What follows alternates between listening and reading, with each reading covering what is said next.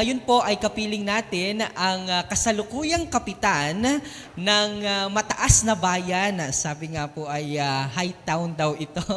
Ah, ang mataas na bayan ah, captain at kumakandidato pong ah, ah, bukal ng unang distrito ng Lalawigan, si Captain, ah, si Barangay Captain Dindin Mercado. Magandang araw po, Kapitan. Welcome po sa ating programa. Magandang araw, DJ Myong, at sa lahat ng mga nanonood dito sa iyong programa.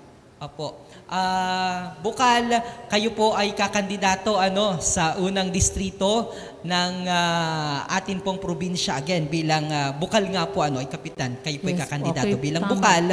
Ah, ano po yung ah, inyong ah, gagawin ah, at ah, mga programang ilalatag sa darating po na 2022?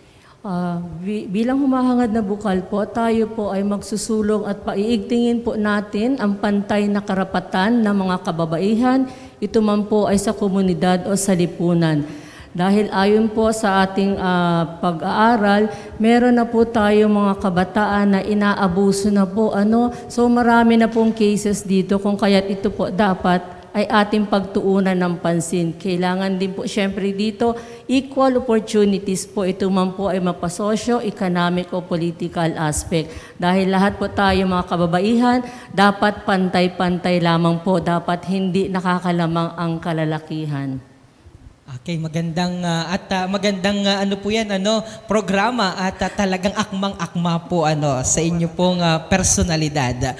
Ah, kapitan na kapitana din din ano. Si kapitana din din ho ay ah, matagal na nating kasama at ah, talagang isang tawag laang ho natin ay talagang maaasahan. Kapitana, baka meron po kayong ah, nais na ah, dahil malapit na pong ah, matapos ang taon at ah, sabi ko nga po ay ah, ilang araw na lang at 2022 na, baka may nais po kayong ah, mensahe na gustong ipaabot sa ating mga kababayan. Okay po.